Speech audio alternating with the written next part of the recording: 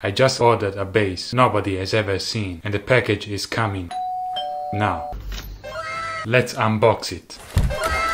It looks amazing. Let's take it. This is an invisible bass. How does it sound? Let's try it.